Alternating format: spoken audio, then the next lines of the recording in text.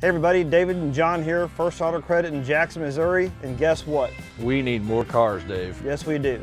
If you're waiting on your new car to arrive or even buying another used car, bring your car by First Auto Credit and let us make you an offer on your car or truck before you trade it in.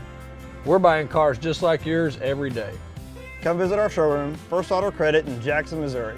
We want to buy your car. First Auto Credit is paying top dollar for your used car. Stop by First Auto Credit today.